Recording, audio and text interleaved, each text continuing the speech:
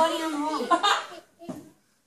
Only he would do that. That's the thing. I'm the That's bunny on the wall. kid. Oh, right there? Alright. I gotta turn it over though so the sticky part's there. Alright. Only you would know that. Only you would do that, Roland. Good job.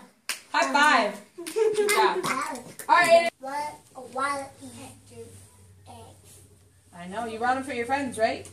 Yeah, that's so nice of him.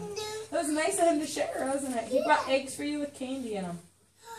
I, I Alright, your hand. didn't? Push it on there. Good job, Ayden! Woo! Look at where you put yours!